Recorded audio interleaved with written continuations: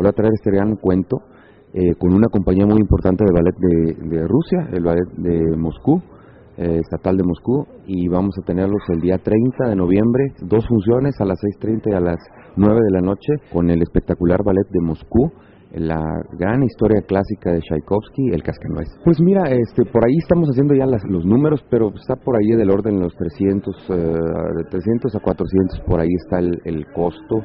Eh, porque, bueno, vienen alrededor de 55 gentes que se mueven con toda la compañía.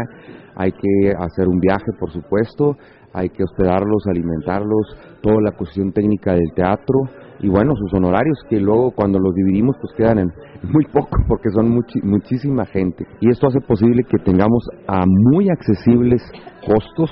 el ballet de Moscú. Eh, quiere decir que estamos alrededor de entre 100 y 150, lo cual es un costo totalmente simbólico porque si ustedes pueden ver en donde se va a presentar el cascanueces, los costos van de 300, 400 pesos.